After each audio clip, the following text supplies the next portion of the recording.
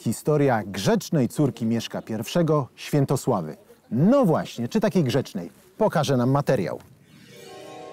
Ciężkie grzechy Świętosławy, córki Mieszka I. Świętosława była córką Mieszka I, a siostrą Bolesława Chrobrego. Wyrosła na grzeczną dziewczynę, ale gdy tylko tatuś wydał ją za mąż, zmieniła nie tylko imię, zmieniła się cała, stała się bestią. Świętosława wyszła za szwedzkiego króla Eryka. Bardzo go kochała, może nawet za bardzo. Zgodnie z tradycją, żona wikinga po jego śmierci nie może panować sama. Musiała wybrać, a w zasadzie zgodzić się wyjść za mąż za nowego, najsilniejszego kandydata. Po śmierci króla Eryka, Sygryda zachowała się zgodnie z tradycją. Do czasu. Zaprosiła do Uppsali kandydatów na nowego męża. Wielka pijatyka wkrótce pozbawiła czucia większości zalotników. Ci, zachwyceni przyjęciem, doskonałą kuchnią i wysokoprocentowym napitkiem, posnęli. Wtedy Sygryda życzyła im dobrych snów i kazała zamknąć wrota sali bankietowej. Zadbała również, aby ogień nie zgasł w kominku. W zasadzie wręcz przeciwnie, żeby rozpalił się na dobre. Tak też się stało. Sala ze śpiącym towarzystwem spłonęła do szczętu.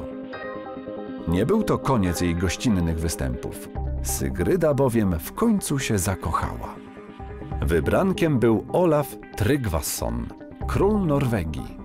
Wiking, być może znając jej maniery, a może z innego powodu, odrzucił jednak jej względy. Słono pożałował. Wzgardzona Polka szybko wyszła za króla Danii Svena Widłobrodego. Molestowała go tak długo, aż ten, razem z nowym królem Szwecji, wyprawił się na Norwegię i utopił kraj we krwi. Morał z tej historii jest taki, że nawet wiking nie powinien lekceważyć Polki. Zwłaszcza gdy ta jest córką Mieszka I, a siostrą Bolesława Chrobrego, który do łagodnych baranków wcale nie należał.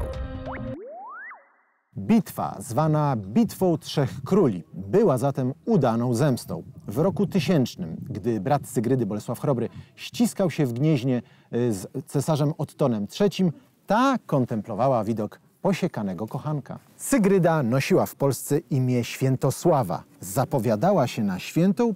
Ciekawe, skąd w Polsce brały się przydomki polskich władców, na przykład takiego Bolesława, męża świętej Kingi, już współcześni nazywali wstydliwym.